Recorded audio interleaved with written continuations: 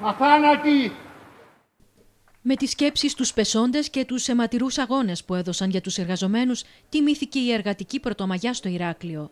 Κατάθεση στεφάνων πραγματοποιήθηκε στο μνημείο των Ηρών της εργατικής τάξης.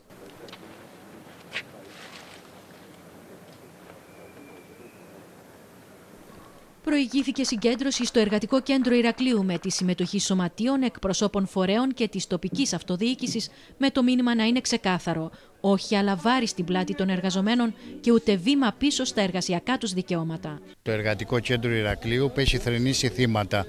Ίσως είναι το μοναδικό εργατικό κέντρο στη χώρα ε, που τιμά το θάνατο ουσιαστικά συνδικαλιστών του Περγαλίδη, των αδελφών Χατζηγεωργίου, του Σουκατζίδη Ανθρώποι οι οποίοι δώσαν την ίδια τους τη ζωή για ένα καλύτερο αύριο. Διαχρονικό και επίκαιρο όσο ποτέ.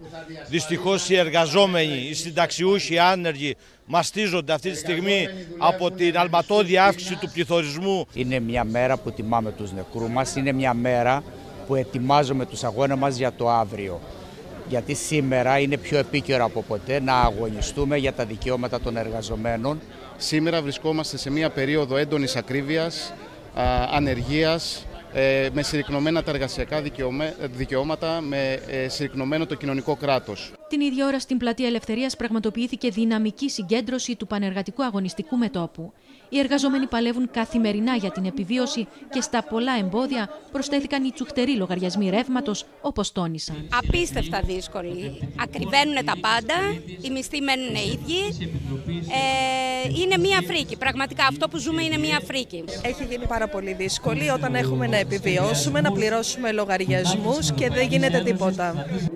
Με πάνω και συνθήματα τα μέλη του ΠΑΜΕ ζήτησαν μέτρα στήριξης των εργαζομένων και τον τερματισμό του αιματηρού πολέμου στην Ουκρανία. Σήμερα το μήνυμα πιο επίκαιρο από ποτέ και με τον πόλεμο στην Ουκρανία, αλλά κύριε και για την κατάσταση που βιώνουν σήμερα οι εργαζόμενοι. Εμείς καλούμε όλους τους εργαζόμενους στον δρόμο, στην οργάνωση του αγώνα. Δεν μπορεί σήμερα η ζωή του εργαζόμενου να είναι μεροδούλη μεροφάι.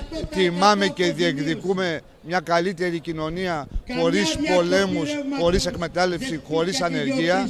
Σήμερα η μέρα που είναι παγκόσμια εργατιά ανανεώνει το αίτημα, το στόχο της να καταργηθεί η εκμετάλλευση ανθρώπου από άνθρωπο. Το σύνθημα που έχουμε επιλέξει για φέτος είναι ότι η, μόνη ελπίδα είναι η υπάλληλη των λαών και παλεύουμε για απεμπλοκή της χώρας μας από τους υπερελιστικούς πολέμους, καμία συμμετοχή στον υπερελιστικό πόλεμο στην Ουκρανία. Όπως ξεκαθάρισαν οι εργαζόμενοι, οι αγώνες θα συνεχιστούν όσο η καθημερινότητά τους συνεχίζει να μετατρέπεται σε έναν όλο και πιο δύσκολο ανηφορικό δρόμο.